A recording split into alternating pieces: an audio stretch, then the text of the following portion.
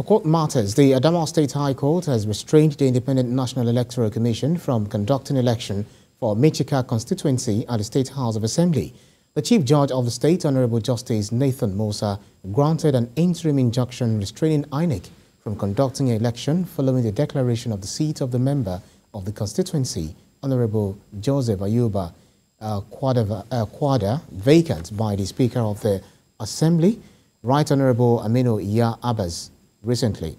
The court also restrained the Accountant General of the state from stopping his salary, benefits and other privileges pending the hearing and final determination of the motion and notice.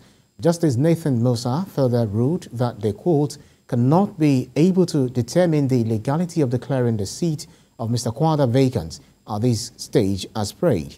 After delivering his ruling, the Chief Judge adjourned the matter to the 16th of May 2022 for hearing of the originating process.